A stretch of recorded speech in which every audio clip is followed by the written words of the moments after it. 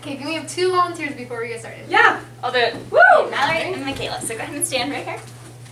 Perfect. So you're each getting a piece of paper. And so I want you to read your options, but don't read them out loud. Just read them to yourself. And you're going to pick one of the two options, okay? So when I ask you, just tell me which option you pick, number one or number two. Okay? So, Michaela, we're going to start with you. Which option would you like to do? Number one. Okay, so go ahead and do that. Right now. Are these acceptable? Yeah, those are good. I'm gonna win. Perfect. Okay. So now everybody in the room gets a piece of candy. So go ahead and take one. Oh.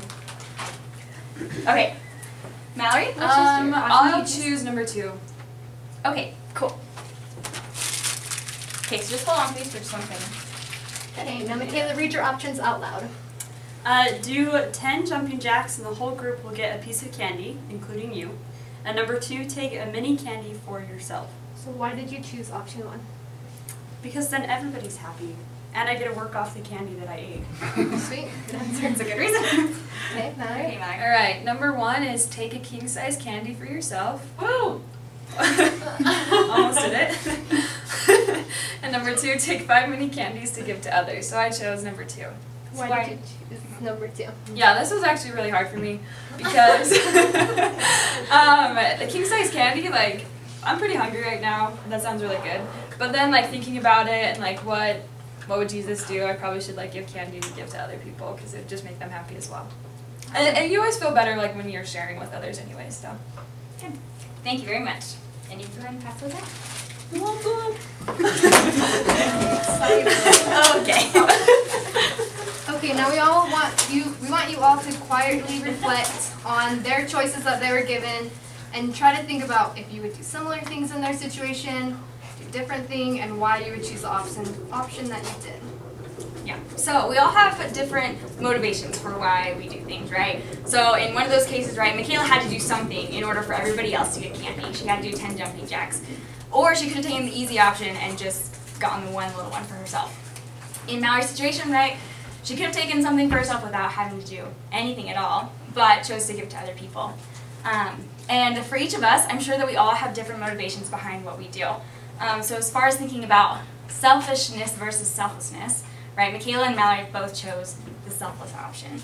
Just want you guys to again think about um, why you're here and why serve. Why are you doing the things you're doing? Is it because you want a resume builder? Is because you want to look for new friends, or kind of those um, selfish reasons for joining Y or is it the selfish reasons just because you actually want to go out and help others?